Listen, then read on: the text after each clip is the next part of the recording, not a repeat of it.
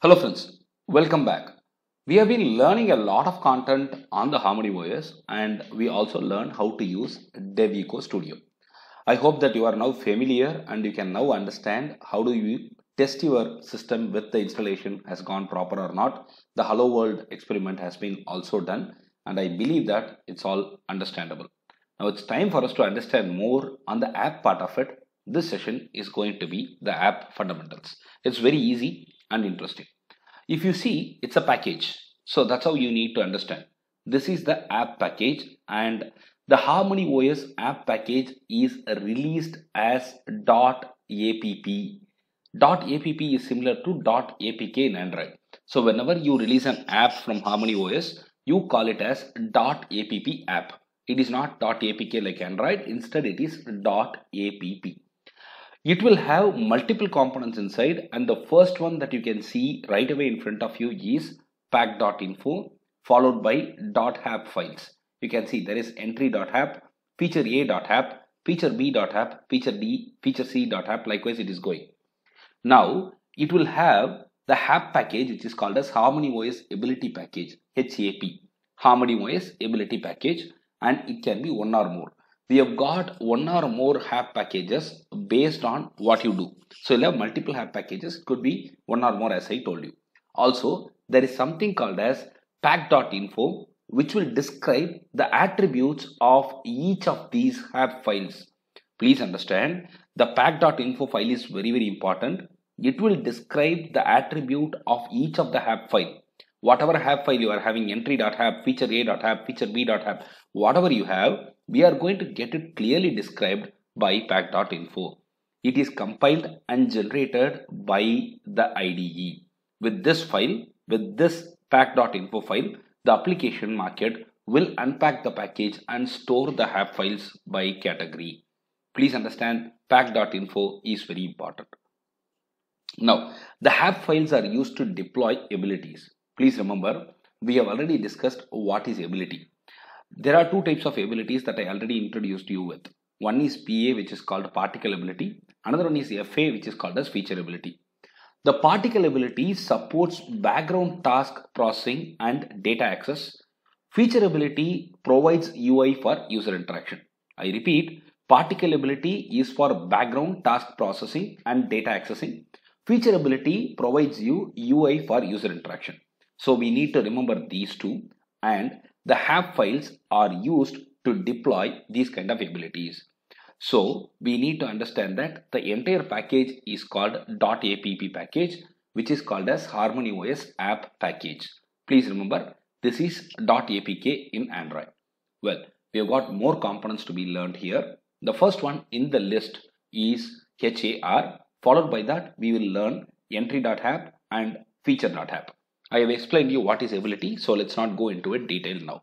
Now, what is HAR? HAR is Harmony OS Ability Resources. Everything starts with Harmony here. Harmony OS Ability Resources will provide you all the content, all the content required for building the app, which can include the source code, the resource files, the config.json file, which we will talk about. So you can see that the HAR is going to give you everything that is required to get the app completely built. Now, we have got entry.app. What is it? The name itself is specifying. When it is entry, it is going to be the main module of the app. For the same type of devices, each app will have only one entry.app file and it can be installed and run independently. Remember, it is the main module. It is the entry as you can see by the name and for same type of devices, each app will have only one entry.app file and it cannot be duplicated and it can be installed and run independently. What is the next thing? The next thing is feature. The feature.app is very very important where feature.app will be like each application can have more than one feature.app file. That's what you are seeing right in front of you. We have got feature a.app, feature b.app, feature c.app, something like that. So it is more than one. We can have more than one feature.app files and only the feature.app files that contain abilities can run independently. Remember, whichever feature.app files have got the abilities, they can run independently. Please remember this point. So we have got entry.app, we have got feature.app and there can be multiple features.app and you can have as many as you want. And please understand a very important point HAR is Harmony OS Ability Resources which is going to get you the complete structure, complete content for you to build the app which includes source file, the source codes, the resource files and config.json files. And the next thing that we need to learn is the library files. The name tells it very clearly. Library files could be the third party code. Your app could be dependent on some of the third party apps, some of the third party content and they are coming under this category. They are nothing but the binary files so .so, .jar, .bin and .har are all stored in this libs category. I mean they come under the library category. And we have got something called as resources file. You could see that here. This resources files are very very important and the app resource files, it can be string, it can be images, it can be audio files are all coming under this category and they will all be stored in this resources directory and you can easily access them whenever you want and you can manage maintain them right the next one is very very important which is nothing but the configuration file. The configuration file is a config.json file here. It is the configuration file of an app. It will be very helpful and it is the one which can help you in declaring the abilities of the app and permissions required by the app. We need to learn more about it. It's actually a very important content. You can see the way the tree has been structured where we have got config.json highlighted. The config.json file has various information but out of which which is very important is going to be listed here.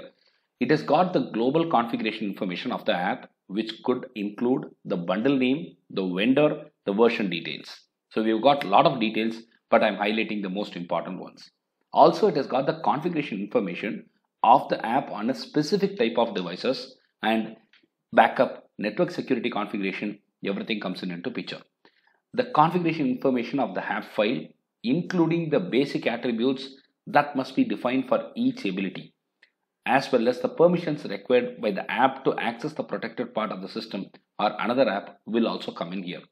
Overall, to convey you in a very simple manner, it has got the complete details of the configuration, which can include a lot of information which are very essential it could be connected to the backup. It could be connected to the network security. It could be connected to the fundamental information like the bundle name, vendor, version details.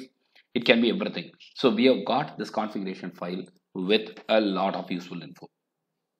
And there is something more that you need to learn, which is called resources. And inside resources, you can see that here we have got element, graphic, layout, media, profile. Many, many things are there. Many things that are very important for you to learn are here. Now, when you go about element, it supports boolean, color, float, int array, integer, pattern, plural, string array, string. So what do you mean by that? Very simple. We have got support for all these with our resources. So the element can be boolean, can be color, can be float, can be int array. So we have got support for everything. And media indicates the media resources which can be images, audios or videos. So we have got the media completely coming in into this section where we have got the images, audio and video. You can really learn this very easily provided you have installed the DevEco Studio. And animation gets the content here inside this animation category. You can see that all these are listed here very clearly. Element, graphic, layout, media, profile. So you can start going through one by one and you will be able to understand. A layout is nothing but the layout resources which will be very helpful for you to decide the layout and you can get it in the XML format. The layout content is here. The graphic is again in XML format. The file name again can be customized. Don't worry about the file names. You can customize the file name as per your wish. You can make it like notifications underscore dark. You can make it like home underscore layout for layout. You've got multiple options available there and customizable options are also given to you. And profile is nothing but indicates the other types of files which are in the raw format and this name also can be customized. So overall, if you see, we have got a lot of content to learn today about the app fundamentals. It starts with this where the package is called dot .app package. It has got app files, entry.app, feature.app, pack info. It has been discussed. Then we went to the library. Then we learned what is config.json and then we went to resources. So all these have been covered in this session. I hope it was useful. In case you have any questions, please type it in the chat box. I'll be happy to answer. Thank you very much.